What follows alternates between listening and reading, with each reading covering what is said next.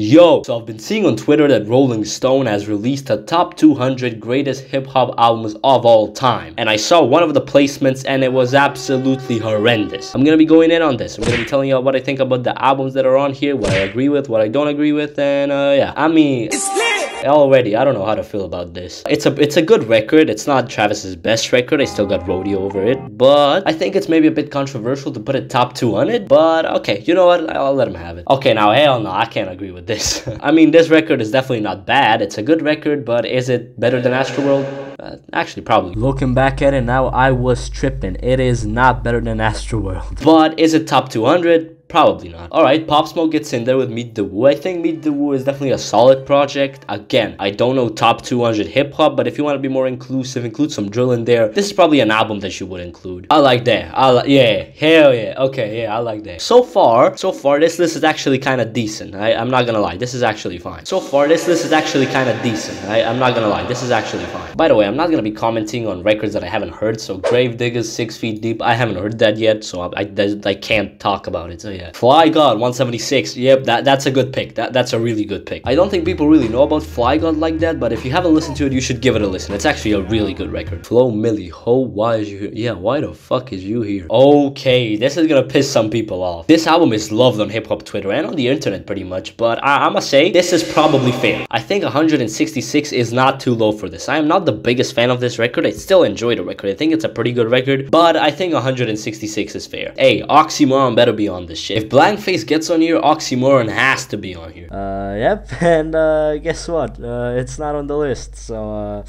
nice one, Rolling Stones. Okay, now hold on, now hold on, hold on a second, nah, nah, hold on. A six out of ten, a six out of ten on a top two hundred. Uh, I mean, I hey, Rolling Stone, you do you, but I, I disagree with this. I'm pretty sure everyone could disagree with this. Come on, man, the fuck is this? Danny Brown, XXX, that's a good pick. That's a good pick. I think that's also a fair placement. He does have a better album, which should definitely place higher, maybe top thirty if I'm being honest. But I'm back again. Atrocity Exhibition was not on the list, which I mean, okay, that's just wrong, let's be honest. And at this point in the recording, I was thinking the list is actually okay because, you know, I didn't know that such good albums weren't gonna be on this list, but yeah. I mean, I'm not gonna lie, this isn't half bad. Hey, oh, hold on, hold on, this is good. Oh my god. SremmLife is actually really solid. It has so many classics and bangers on this. It's a banger. It's a banger. This isn't as bad as I thought it was gonna be. This is turning out to be pretty decent aside from like a few picks.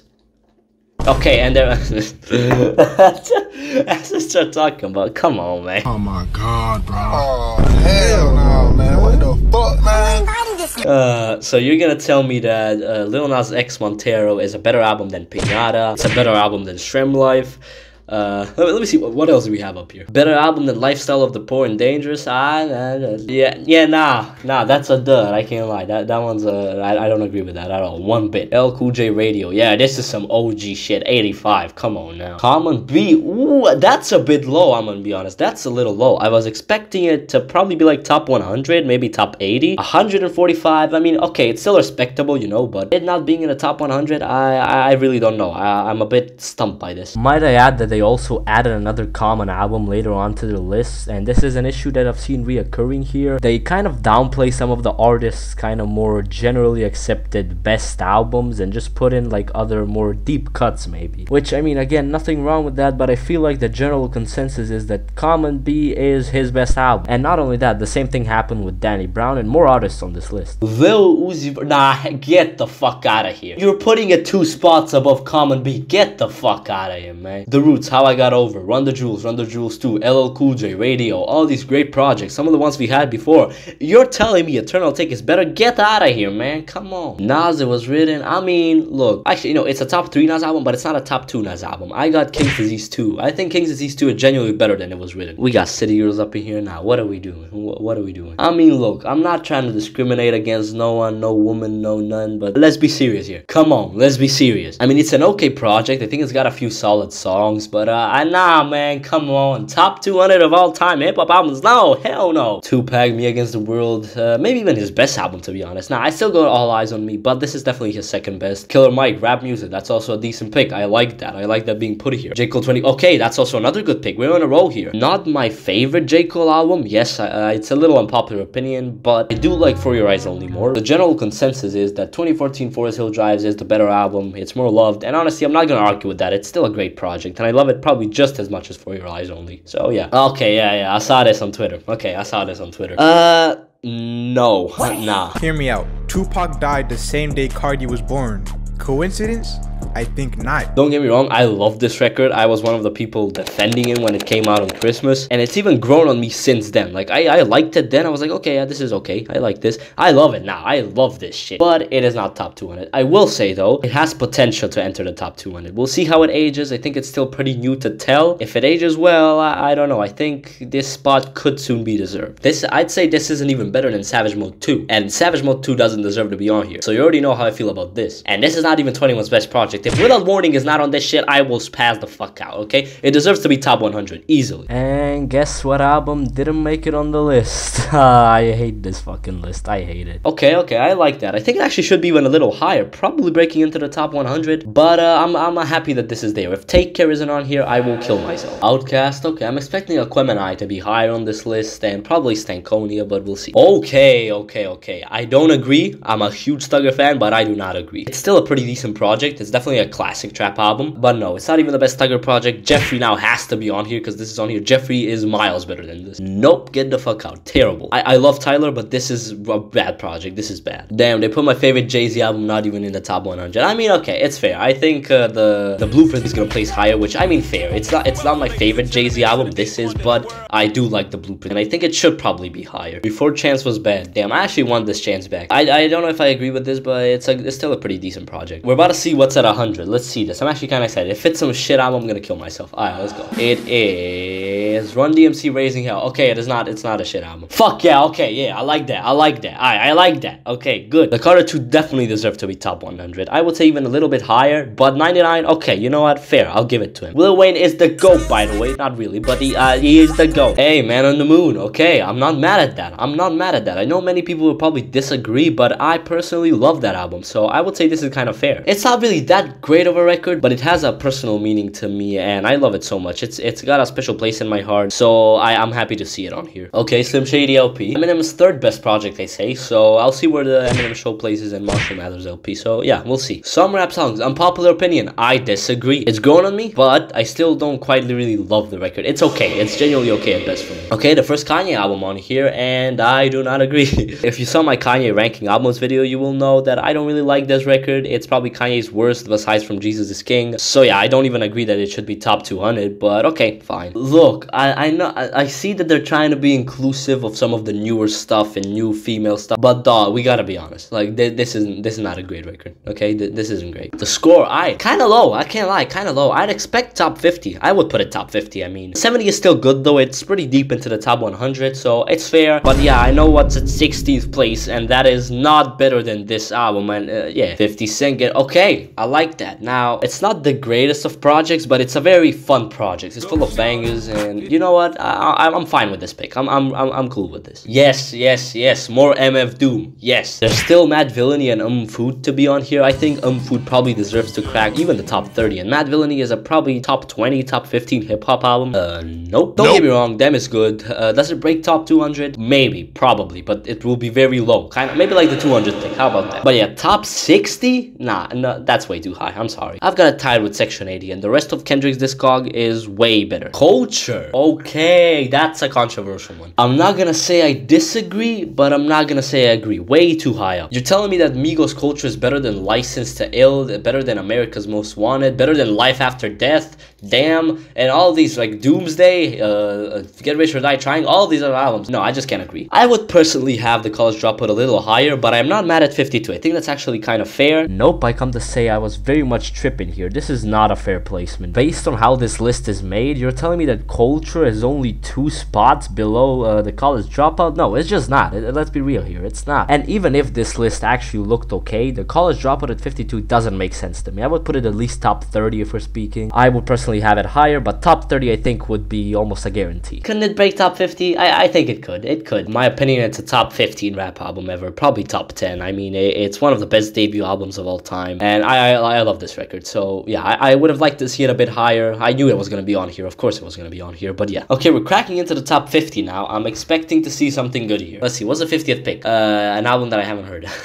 uh, NWA Straight Outta Compton, though. Okay, decent pick. I'd say that's respectable for 49. So, yeah. J Dilla Donuts. Fair. Again, that's respectable. Nope. Nope. Get the fuck out of here. Listen, it's a pretty good project, but it's way too new to be put on a list like this, and it's not even Tyler's best, okay? Igor is way better. Well, then again, Igor isn't really a rap album, so you can't put it on here. Wolf is better. Where is Wolf? Wolf deserves to be top 200. Maybe not top 100, but top 200 for sure. Late registration. Better than the college dropout? Hell no. Is it a good project though? Yes. Does it deserve 41? Yes. Let's go. The GOAT. I told you, he's the GOAT. But yeah, that's that's pretty deserved, I think. The Carter 3 is an amazing project. Carter 2 being that much below it, I don't know how I feel. I think maybe you should move the Carter 2 up a little bit. Like, you know where, where culture was? It was like at 54. Yeah, that should be the Carter 2. Good Kid, Mad City. I'd put it even higher. I think it's a great project. Like, you can't generally compare it to T-Pap. It, T-Pap is not miles better. This is still a really solid project. Finally, Rich at 32. I mean, uh, how do I say this without uh, pissing you guys off? Um, it's good. It's not Chief Keef's best. I generally don't think it's Chief Keef's best. Thot Breaker is insane. Finally, Rich is good. It's influential. But 32?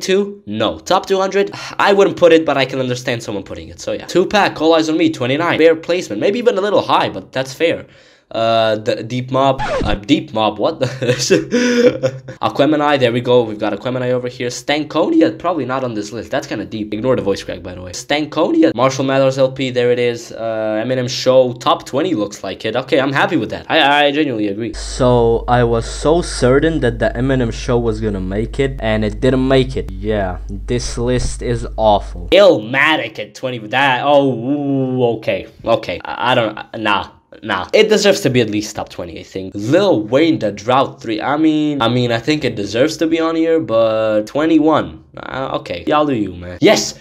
Oh my, I'm so happy. I am so happy. I know the amount of people and old heads that will be so pissed at this, but literally, suck my dick, please.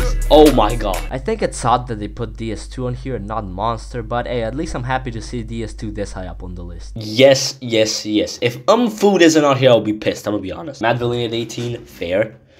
Uh, my penis is so hard. That's good. I like that. I, I really do like that. Although, yes, I do love this Yeezus placement. I think some of its contemporaries and some of its kind of uh, inspirations, I guess, should be mentioned also. The Money Store Death Grips. I didn't see any Death Grips on here, which is a shame. I love Death Grips, but yeah. And here it is. oh my god. yeah. I saw this on Twitter. Yeah, I was actually pleasantly surprised by this record. I thought it was good, but it is not even the best album of the year it came out, and it's not probably the best album of the month it came out. And what the fuck is this? Yeah, yeah, hell no. Fuck no. I mean, yo, dude, you're putting above Yeezus, Madvillainy, fucking, you're putting it above Illmatic. Are you taking the piss? Okay, yeah, I did see this on Twitter. I kind of forgot about it, but now that I've seen it, it came back to me. Look, uh, this is a top 10 record of mine. One of my favorite records, like top 10 all-time favorite records. This is probably in there. I would say, compared to how much sort of impact some of these records before it have had, it does not deserve to be this high up. Yes, it deserves to be on this list, but definitely not this high up. Okay, top 10. I'm gonna be breaking these down one by one. The Miseducation of Lauryn Hill, good. That's a good pick. I, I'd say that's fair. Uh, Called Quest, The Low End Theory, that's again fair. I like this album a lot. Uh, 9 is pretty fair for it. Uh, Wu-Tang Clan, Enter the Wu-Tang, 36 Chambers. Yep, that's also fair. I like that. So far, the top 10 is good. Missy, So Addictive. I, I heard of this. I haven't heard this, so I'm not gonna comment on it. Kanye, okay, yeah, 6 is fair, I think. T-Pab, 5 is also fair, I think. That's pretty good. Public Enemy, It Takes a Nation of Millions to Hold Us Back. I haven't heard it, so I can't comment. Blueprint, as I said, uh, not my favorite uh, Hove album, but deserves to be on here. Stankonia at 2, what the? I love this album. Number 2 of all time. No, I'm sorry. And the number one album of, of all time, number one rap album is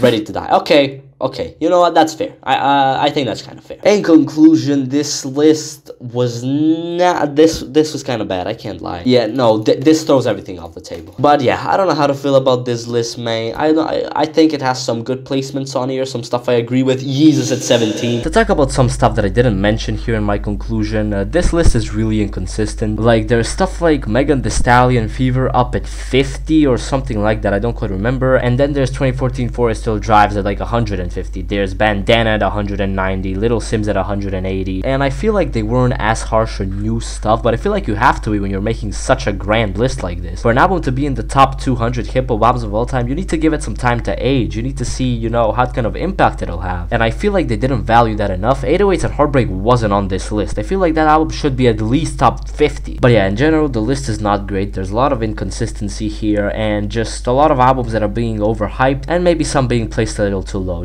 Just in general, not a great list. Tell me what you guys think. Uh, leave a like, comment, subscribe, and I'll uh, see you guys next time. Peace.